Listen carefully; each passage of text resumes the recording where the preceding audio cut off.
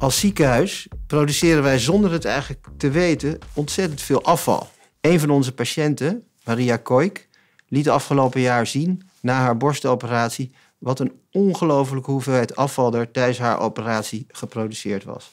Als zorgindustrie, wereldwijd, produceren wij 7% van het totale CO2-productie.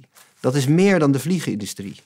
Als we meer op de OK, operatiekamers, inzoomen, maken wij een derde deel van alle afval van de totale afvalproductie in het ziekenhuis. Zo hebben we hier bijvoorbeeld een celstofmatje. Daarvan gebruikten we in één jaar 325.000 stuks. Dat moet een stuk minder. Nou, de oplossing voor dit probleem is de duurzamere inzet van het huidige zelfstofmatje. Dat zullen we doen door refuse en reduce, dus het vermijden en het verminderen van het huidige gebruik van het zelfstofmatje. Daarnaast willen we ons focussen op redesign, dus het vervangen van het huidige zelfstofmatje voor een meer duurzamere en dunnere variant.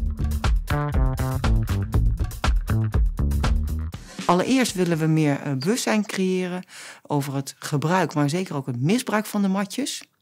We zullen uh, gedrag analyseren en interviews hebben met uh, de gebruikers daarvan, wat hopelijk dan zal leiden tot een verminderd gebruik daarvan. Maar matjes blijven toch nodig, dus uh, we zullen een, met een meer duurzamere variant zullen we gaan werken en dat testen in een pilotstudie. Wat we hopen te bereiken is het verduurzamen en het verminderen van het gebruik van celstofmatjes. Daarnaast willen we deze opzet ook gaan toepassen op andere te veel gebruikte materialen binnen het UMCG. Door het winnen van de duurzaamheidsprijs kunnen we dus naast de verduurzaming van de celstofmatjes nog veel meer bereiken.